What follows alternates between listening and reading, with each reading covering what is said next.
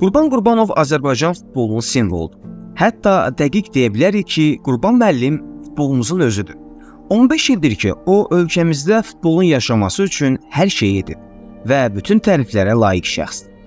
Ancaq Azərbaycan çoxdan şəxsiyyətə pərəstiş dövrünü adlayıb. Bəs Stalinizm dəyərlərini qorumağa çalışan qüvvələr nə edir? Bəllidir, ürəkdə Qurban Qurbanov sevgisi var və bu sevgi bəzən gözləri örtür. Qurban Qurbanov qalıb kənarda bu insanlar Qurbanovu tənqid edənlərə belə ağıl öyrədirlər.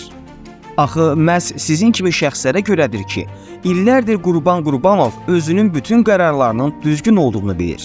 Biz işləməliyik öz qüvvəmizlə.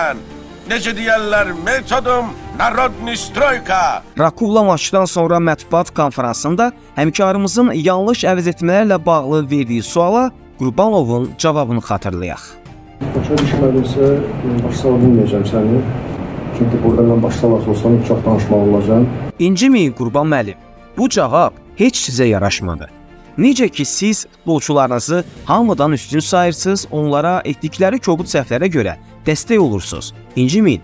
Biz də həmkarımızın yanındayıq.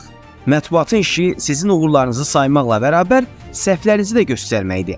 Əgər mətbuat quzu balası kimi konfransda yatacaqsa, o zaman bu konfranslar sizin dədə-babalarınızın əl çaldığı Kommunist Partiyası Mərkəzi Komitəsinin iclasından nə ilə seçiləcək? Heçmi Türkiyədə imperator sayılan Fatih Terim tənqid olunmayıb?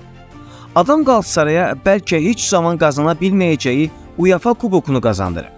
Keçmişə görə çox sağ ol, amma bu günə görə də səhvin varsa tənqid olunmalısan.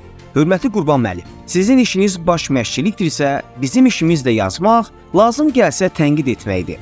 Necə ki siz uğur qazananda sizi az tərifləməmişik. Hətta peşəkarlığa yaraşmasa da, bəzən konfrans zalına ayaq basdığınız ilk anda sizi alqışlamışıq. İndi də xahiş edirik, tənqidləri qəbullanmağı bacarın. Hamımız bilirik.